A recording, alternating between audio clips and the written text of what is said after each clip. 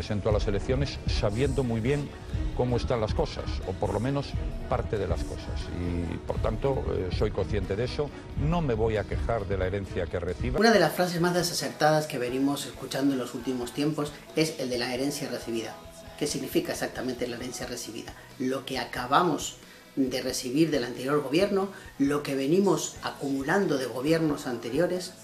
La herencia recibida se traduce exactamente en la falta de criterio por parte de los nuevos gobernantes en excusarse cuando existe o un cambio sobre su propuesta de gobierno o una marcha atrás sobre determinadas propuestas dentro de un programa electoral que evidentemente ninguno de los partidos políticos de ninguna ideología pretenden asumirlo al 100%. Evidentemente, ningún programa de gobierno se ha podido cumplir al 100% con ninguno de los gobiernos anteriores y tampoco con este gobierno actual. Por tanto, la herencia recibida es aquella que a lo largo de estos 30, 35 años de democracia hemos venido acumulando.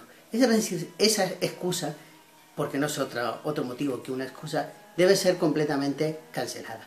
Los nuevos hereditarios, los, perdón, los herederos nuevos de la, de la democracia, los herederos nuevos de los gobiernos y de los partidos políticos que quieran realmente asumir un buen ejercicio democrático y sobre todo que quieran dar una buena visión de cara al exterior y también, ¿por qué no?, a nivel interno de este país, deberían realmente preocuparse por el sentido común, por la integridad, por el ideal que realmente deben cubrir y por todas las expectativas que un pueblo emite a través de su voto.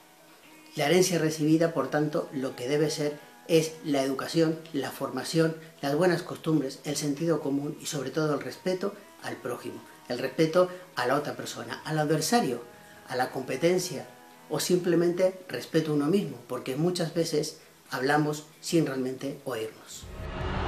¿Quién subió los impuestos especiales? ¿Quién subió la luz, el gas y el butano? ¿Quién hizo los recortes sociales más grandes en la historia de la moderna democracia española?